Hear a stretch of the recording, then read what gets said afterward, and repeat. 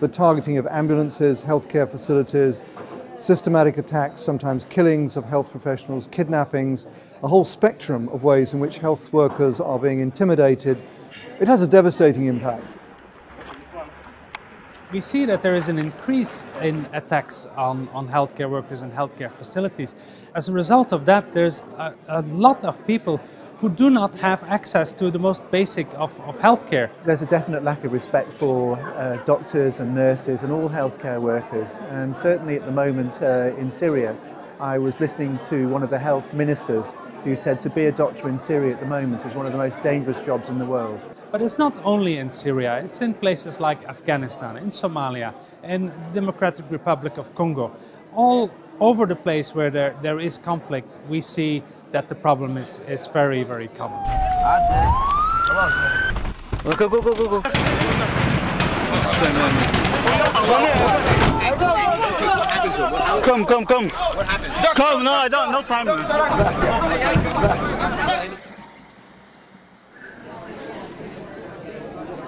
Well, one of the important things that the Healthcare in Danger project does is articulate the duties and responsibility of healthcare workers. And therefore, it's important for us both to understand those um, international ethical norms and also to ensure that our personnel are properly trained to respect those. Ethical boundaries create the relationship of trust which allows doctors and others to actually work with patients in the most difficult circumstances.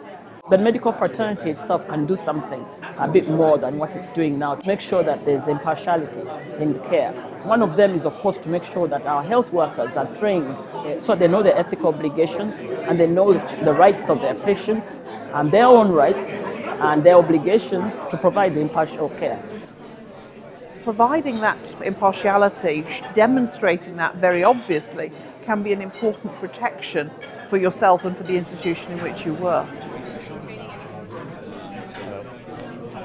The minute that you start to arm the hospital or make it fortified, that can really change the perception of what your facility is really going to be. One of the biggest things that has to be considered is the threat analysis.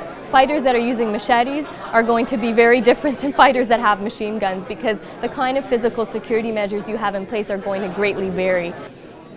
In certain contexts, marking your hospital would actually ensure safety, versus in other scenarios, where hospitals are directly being targeted, marking your hospital would actually make you in direct danger now. And it would be better to actually make it look uh, more hidden or not mark it at all, but while ensuring that patients can access it.